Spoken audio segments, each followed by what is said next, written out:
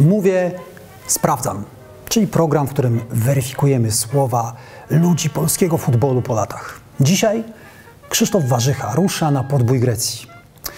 Gdy w 1989 roku Krzysztof Warzycha wyjeżdżał z Polski, robił to jako aktualny król strzelców i mistrz kraju. Panathinaikos wyłożył za niego milion marek. A jednak kręcono w Polsce nosem na ten transfer. Grecja wciąż była przez niektórych w kraju postrzegana może nie jako piłkarska prowincja, ale jednak jako kierunek, który optymalny dla piłkarza nie jest. Warzycha tuż po transferze udzielił dużego wywiadu tygodnikowi Piłka Nożna, w którym to musiał się tłumaczyć z takiego kierunku. Rozmawiał z nim sam Paweł Zarzeczny, który od razu zaczął po swojemu. Zapytał, dlaczego Warzycha nie posłuchał ówczesnego selekcjonera Andrzeja Strejlała. Warzycha przyznawał, że kierunek grecki mocno odradzał mu Andrzej Strejlał, ówczesny selekcjoner reprezentacji Polski. Zdaniem trenera wyjazd do Grecji był ryzykowny. A jak było? Nie ma co wyciągać daleko idących wniosków, ale fakt jest faktem. Przed wyjazdem do Grecji Warzycha był jednym z nielicznych, którzy zagrali we wszystkich meczach reprezentacji Polski pod batutą trenera Strejlała. Później rozegrał tylko cztery spotkania, na większość najważniejszych meczów, nie dostając już powołania.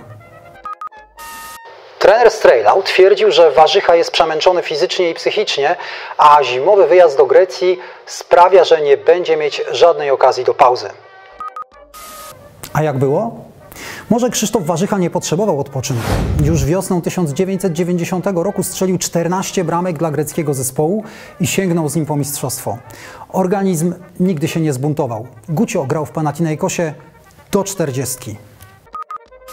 W Polsce zastanawiano się, dlaczego Warzycha wybiera Panathinaikos, a nie klub z silniejszej ligi. Na grecką ligę spoglądano wtedy w Polsce z lekceważeniem. Przeprowadzający wywiad Paweł Zarzeczny spytał nawet wprost – nie żal iść w młodym wieku do ligi zbyt słabej, by się rozwijać? Warzycha odpowiedział, że Panathinaikos gwarantuje mu grę w pucharach rok po roku, a cztery czołowe greckie zespoły są solidne, może nie na dalekie rajdy w pucharach, ale mogące podjąć walkę. A jak było? Warzycha w Grecji został legendą całego tamtejszego futbolu. Jest zdecydowanie najlepszym snajperem w dziejach Panathinaikosu. Jego 277 bramek to rekord nie do pobicia.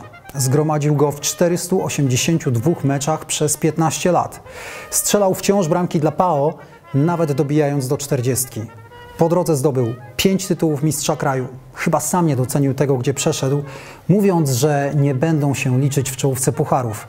Spao prawie rokrocznie miał okazję grać w Lidze Mistrzów, w tym w sezonie 1995-96, dochodząc do półfinału w dodatku na plecach Legii Warszawa. Paweł Zarzeczny spytał nawet, czy Panathinaikos jest chociaż lepszy od ruchu Chorzów, z którego Gucio odchodził do Grecji. Warzycha powiedział, że koniczynki jako zespół są bardziej ograne, ale indywidualnie w Panathinaikosie miejsce znalazłoby wielu ówczesnych piłkarzy ruchu. A jak było? Paradoksalnie po pierwszym sezonie mogło się zdawać, że Warzycha miał tu rację. Panathinaikos w Pucharze Mistrzów sezonu 1990-91 wpadł na Lecha Poznań i przegrał z Kretesem.